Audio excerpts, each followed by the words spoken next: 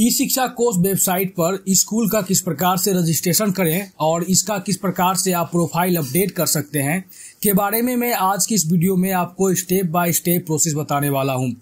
ई Shiksha course के tutorial video को देखने के लिए आप चैनल को सब्सक्राइब कर सकते हैं और अगर वीडियो अच्छी लगे तो वीडियो को लाइक कर सकते हैं। नमस्कार, मैं हरिशंकर, आप देख रहे हैं TRT in Hindi YouTube channel.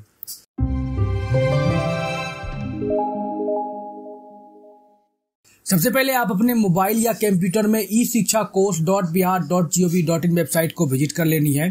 Visit करने के बाद यहाँ पे आपको सबसे पहले वेबसाइट पे मिलता है सिलेक्ट यूज़र टाइप यहाँ पे आपको ऑप्शन मिल जाते हैं teacher school officials T E T E I यहाँ पे आपको स्कूल रजिस्ट्रेशन करने के लिए स्कूल को सिलेक्ट करना है। फिर यहाँ पर देखिए आपको मिलता है स्कूल का यू डाइस कोड आपको यू डाइस कोड दर्ज कर देना है। फिर यहाँ पे आपको पासवर्ड दर्ज करना है। सबसे पहले यहाँ पे आप लोग समझ लीजिए कि पासवर्ड जो है आपको बीआरसी की तरफ़ से मिल जाता है। जो भी पासवर्ड आपको टेम्प्रोरी पासवर्ड मिला होगा, वो टेम्प्रोरी पासवर्ड आप यहाँ पे दर्ज करेंगे।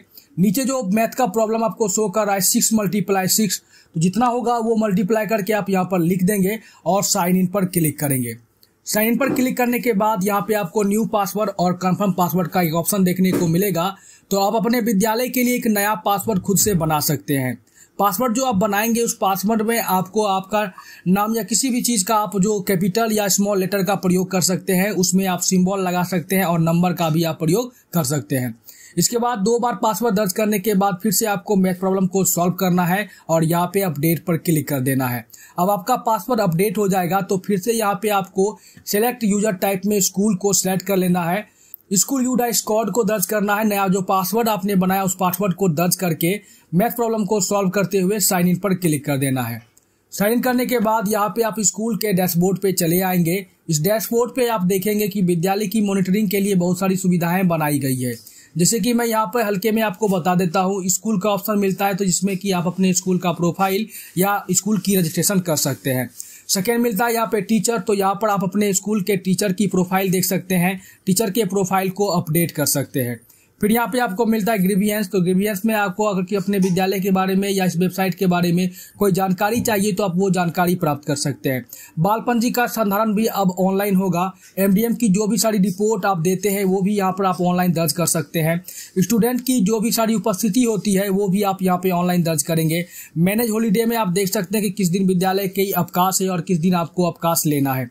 लीव का ऑप्शन आपको मिल जाता है, जो आप विद्यालय में छुट्टी लेने के लिए आवेदन देते हैं, वो आपको आवेदन अब ऑनलाइन देना होगा।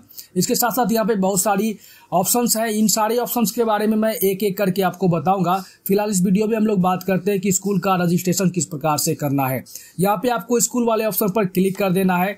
ये जो पुअर नेटवर्क कनेक्शन आता है, ये कुछ वेबसाइट की गड़बड़ी है, आप इस पर ध्यान नहीं दें। अब यहाँ पे देखिए, आपको मिलता है school registration library attendance habitation master और डेली एक्टिविटी रिपोर्ट तो यहाँ पे आपको सबसे पहले स्कूल रजिस्ट्रेशन पर क्लिक कर देना है। अब यहाँ पर आप देखेंगे आपके विद्यालय की जो शैक्षणिक वर्ष है, परिचालन स्थिति है, जिला, प्रखंड और संकुल, ये ऑटोमेटिक पहले से फिल रहेगा। अब यहाँ पे मैं आपको बता देता हूँ कि ये सारी डिटेल्स कहाँ से आती है। जब आपने अपने विद्यालय के यू डाइस को फॉर्म को फिलअप किया होगा ऑनलाइन तो यहाँ से और मेगा शॉप से ये सारी जानकारी यहाँ पे ऑनलाइन अपडेट है पहले से। स्कूल का कोड कर रहा है तो स्कूल का यू डाइस कोड आप यहाँ पे दर्ज कर देंगे। यू डाइस कोड आपको यहाँ पे दर्ज करने के बाद, यहाँ पे आपको मिलता है मैनेजमेंट या प्रबंधन। आप इस पर क्लिक करेंगे। क्लिक करने के बाद यहाँ पर देखिए डिपार्टमेंट ऑफ़ एजुकेशन को आपको सिलेक्ट करना है। विद्यालय की श्रेणी पे आप क्लिक करेंगे। अब आपका जो विद्यालय है, वो वन टू फाइव है वन टू एट है कि वन टू ट्वेल्व है या सिक्स टू एट है, यहाँ पे आपको सारे ऑप्शन मिल जाते हैं। आप अपने हिसाब से इसे सिलेक्ट करेंगे, अपने विद्यालय के अनुसार सिलेक्ट करेंगे और सर्च पर क्लिक करेंगे। सर्च करने के बाद नीचे देखेंगे आपके विद्यालय की सारी डिटेल्स यहाँ पर चली आती है। यहाँ पर देख लीजिए, एक चीज़ आपको मिलता है पेंडिंग एट स्कूल यानी कि आपकी जो प्रोफ़ाइल है अभी अपडेट नहीं हुई है यह विद्यालय स्तर पर भी पेंडिंग है। तो यहाँ पे आपको गतिविधि के नीचे एडिट का ऑप्शन मिलता है, आप इस पर क्लिक करेंगे।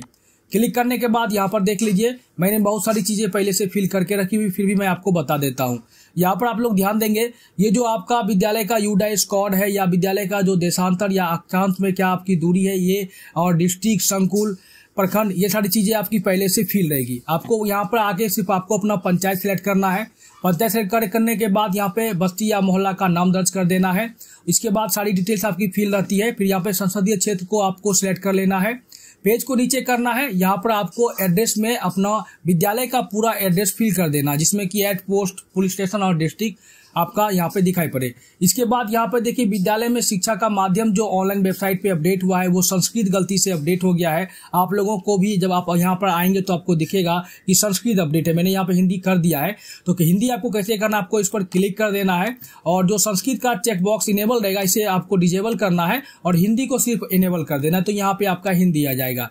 फिर यहाँ पे कहता है, भाषा का माध्यम, यहाँ पर भी आपको हिंदी को सिलेक्ट कर लेना है।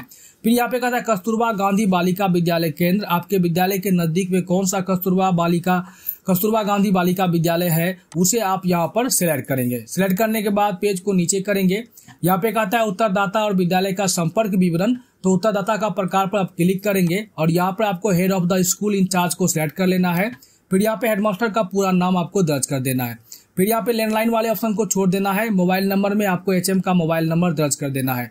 विद्यालय का ईमेल आईडी बनवाया गया है सभी विद्यालयों के लिए। आप लोगों ने भी बनाया होगा तो अपने विद्यालय का जो ईमेल आईडी है, वो आप यहाँ पे दर्ज करेंगे। फिर यहाँ पे कहा था विद्यालय का वेबसाइट तो विद्यालय का वेबसाइट वैसे होता नहीं है। अगर किन्हीं विद्यालय का वेबसाइट बना हुआ है तो आप अपने वेबसाइट को भी यहाँ पर आप दर्ज कर सकते हैं। फिर यहाँ पे कहता है head of school contact details तो यहाँ पर भी आपको क्लिक करके यहाँ पे एक्टिंग हेड टीचर या असिस्टेंट हेड टीचर दो चीज़ आपको ऑप्शन मिल जाता है। अगर असल में वो परमानेंट एचएम है तो वो आप एक्टिंग हेड टीचर को सिलेक्ट करेंगे। लेकिन कोई अगर प्रभारी प्रधान अध्यापक है तो वो असिस्टेंट हेड मास्टर या वाइस प्रिंसिपल को सिलेक्ट करेंगे। फिर यहाँ पे उनका नाम दर्ज करना है, उनका मोबाइल नंबर दर्ज करके अपडेट करे पे आपको क्लिक करना है। फिर यहाँ पे कहेगा do you want to update तो यस अपडेट पर आपको क्लिक कर देना है। और यहाँ पर देखिए, आपका स्कूल का इन्फॉर्मेशन अपडेट हो जाएगा तो कुछ इस प्रकार से आप लोग अपने विद्यालय का रजिस्ट्रेशन और प्रोफ़ाइल अपडेट कर सकते हैं। और यहाँ पर देखिए और भी सारी चीज़ें हैं, जैसे कि लाइब्रेरी अटेंडेंस का ऑप्शन आपको मिल जाता है।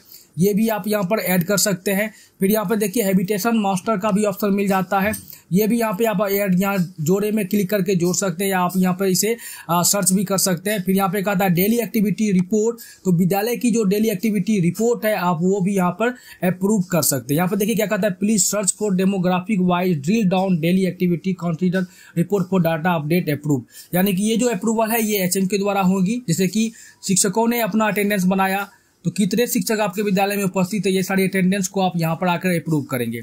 तो कुछ इस प्रकार से आप लोग अपने विद्यालय का नया पासवर्ड जनरेट कर सकते हैं प्रोफ़ाइल अपडेट कर सकते हैं और स्कूल का रजिस्ट्रेशन कर सकते हैं। उम्मीद करता हूँ कि आपको यह वीडियो अच्छी लगी होगी। अगर वीडियो अच्छी लगी तो वीडियो को लाइक करना बिल्कुल ना भूलें। धन्यवाद।